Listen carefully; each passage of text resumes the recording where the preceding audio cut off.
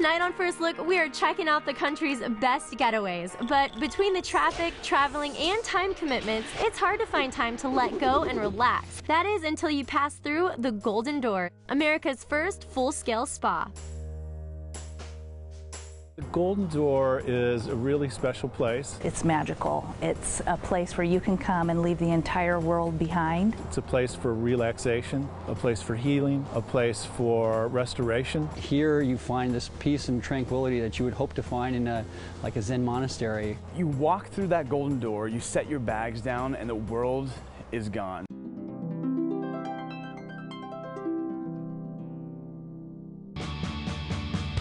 Nick, the grounds here are so beautiful. I already feel the stress melting away. You don't even feel like you're in California anymore. We're modeled after a Japanese uh, mountain inn, so guests come here for the week to get away from all the stresses. What kind of activities do you guys offer? Each program for each guest completely catered to what they want to do. So from 5.30 in the morning all the way until 6.15 when they have dinner, they don't have to think about what activity comes next. This sounds like my kind of place. Do you mind if I take you on a little hike? Let's do it. All right. Okay. This would be the start to a pretty challenging hike. As you can see, it goes straight up. How many hiking trails are there? We actually have over 20 miles of hiking trails on the property. Wow. Along with these calming bamboo trails, you can also stroll through the avocado groves, Japanese gardens, and the serene waterfalls that adorn the property. These oak trees are amazing. Some of them are over 100 years old and they grow all over the property. Wow. So what do you think of our grounds? It's picturesque. It's so beautiful. I love it.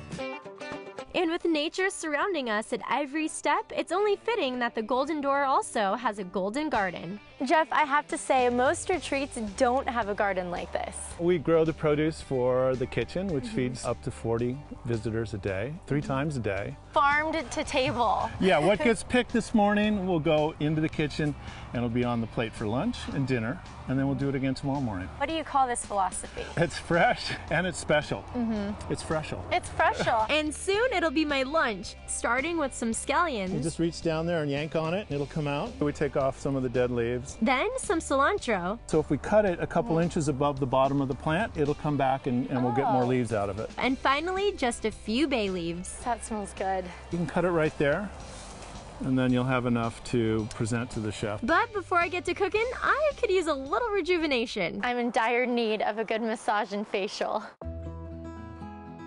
I'm in for a treat. smells amazing. Wow, this one smells really good too. balance the pH on the skin. My skin felt so hydrated. I definitely had the Golden Door glow. I'm very relaxed. And also very hungry. I'm ready to see what Chef Greg is going to create with my bounty from the garden.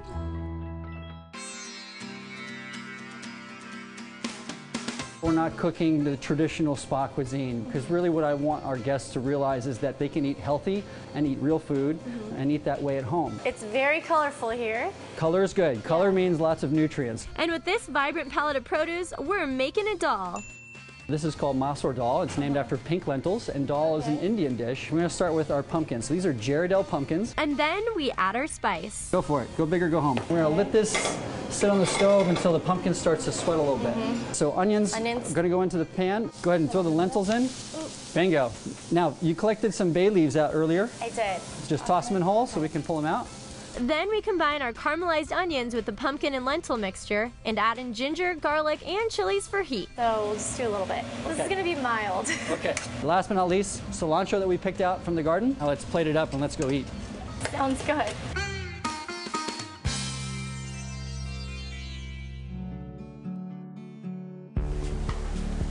Some pomegranate iced tea. Thank you.